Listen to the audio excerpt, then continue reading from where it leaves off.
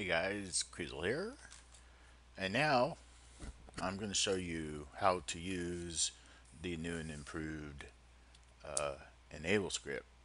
First we got to disable something.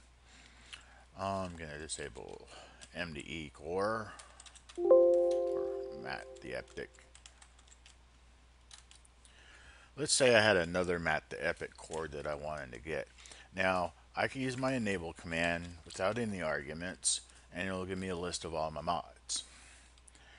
I could do enable and pipe to grep in a pattern like say mat and that brings up all the mats and then I could like say I want this one and then I can go dot enable and then right click paste and that would give it to me.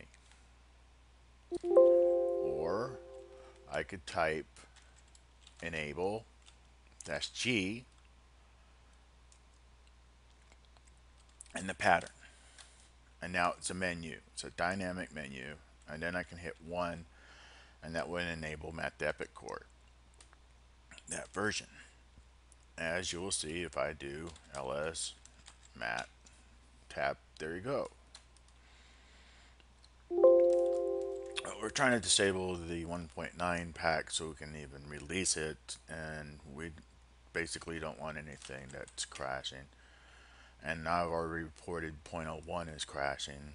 Now 0.02 is crashing and I reported it. So yes, that's how that script now works.